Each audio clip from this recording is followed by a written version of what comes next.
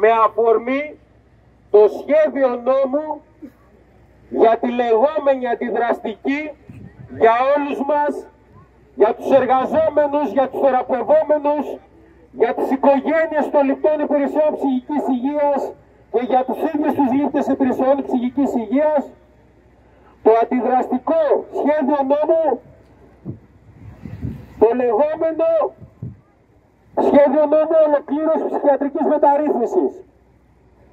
Καλούμαστε όλοι μας μαζί με την κοινωνία που συντάσσονται πολλοί φορείς μαζί μας από την Κρήτη μέχρι την Αλεξανδρούπολη και από τη Ρόδο μέχρι την Κέρκυρα οι οποίοι εναντιώνονται σε αυτό το έκτρωμα, σε αυτό το, το κατάπτυστο σχέδιο νόμου που έρχεται να βάλει την ταφόπλακα σε ό,τι έχει μείνει όρθιο στις δημόσιες υπηρεσίες της ψυχικής υγείας και της απεξάρτησης. Ήδη πάνω από 150 φορείς έχουν πάρει θέση, ήδη πολλά κοινοβουλευτικά κόμματα κάτω από την πίεση με αποφάσεις δημοτικών συμβουλίων, με αποφάσεις ομοσπονδιών, εργατικών κέντρων, ιδιωτικών σωματείων, ομοσπονδιών τους έχουν πάρει απόφαση και καταδικάζουν μέσα στη Βουλή και απ' έξω αυτό το σχέδιο που ετοιμάζεται όπως είπα και πριν να φέρει την ταφόπλακα. Γνωρίζουμε όλοι μας ότι σχεδιάζουν ένα υδροκέφαλο τέρας, το λεγόμενο Εθνικό Δίκτυο Υπηρεσιών Ψυχικής Υγείας, όπου θα υπάρχουν μη κυβερνητικές οργανώσεις, αστικές μη κορδοσκοπικές εταιρείες, ιδιωτικές κλινικές και θα συνεπάρχουν μαζί με, το δημόσιες, μαζί με τις δημόσιες κλίνες που υπάρχουν στον χώρο τον, του εναπομείναντου χώρου του δημοσίου. Γιγαντώνουν και ενισχύουν αυτές τις κλίνες στην ιδιωτική πρωτοβουλία που ήδη υπάρχουν 4.700 κλίνες σε αναντιστοιχεία με τις 900 στο δημόσιο. Και μάλιστα προσφέρουν πακτολό χρημάτων από το Ταμείο Ανάκαμψης με ημερομηνία λήξης.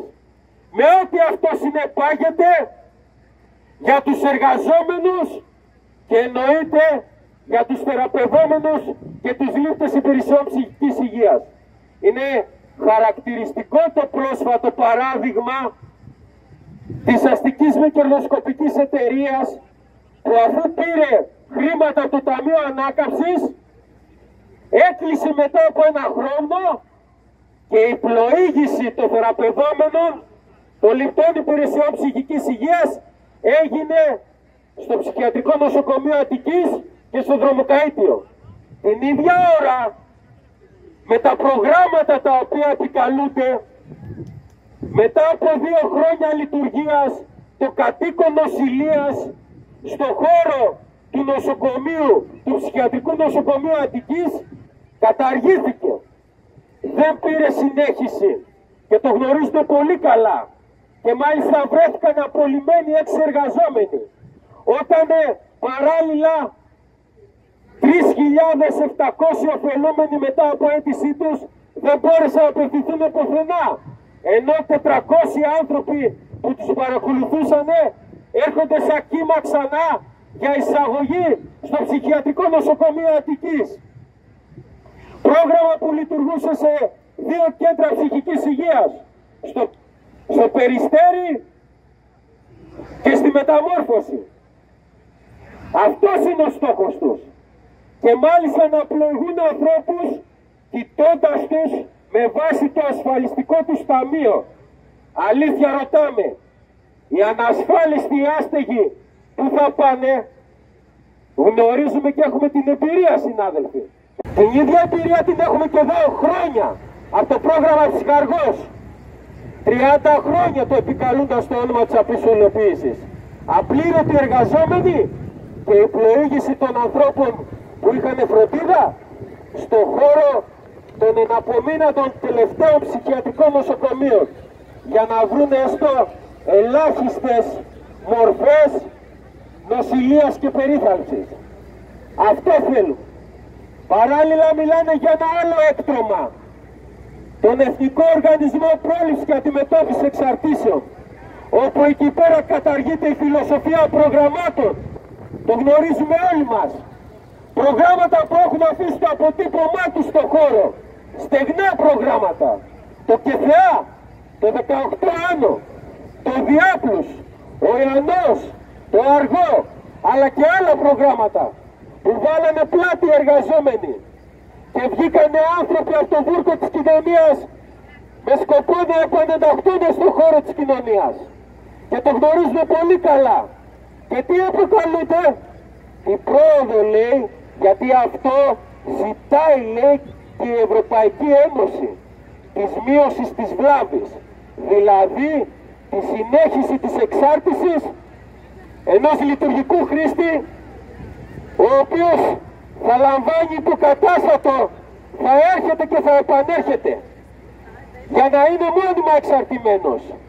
Καμία ανθρώπινη προσέγγιση ε, του ανθρώπου του εξαρτημένου ως κοινωνικό όν και βέβαια στην επανένταξή του μέσα στην κοινωνία.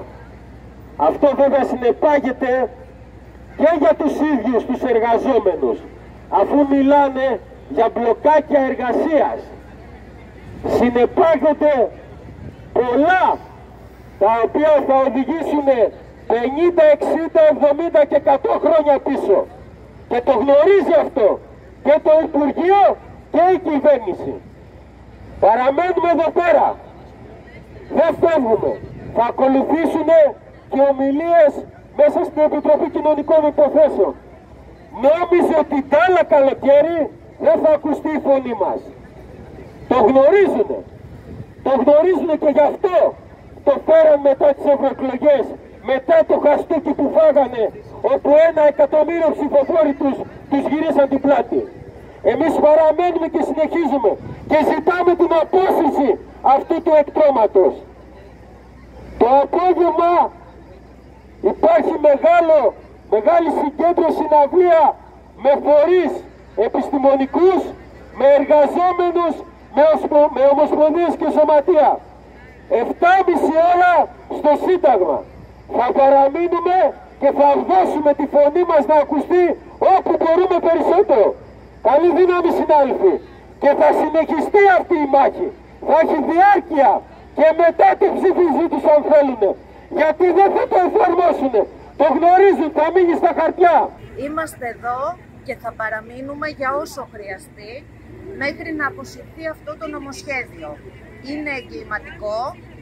Έχουμε από την πρώτη στιγμή που εμφανίστηκε καταγγείλει ένα σωρό σύλλογοι, ε, σωματεία, φορείς, κοινωνικοί, την αντίθεσή μας και αυτό δεν θα σταματήσει.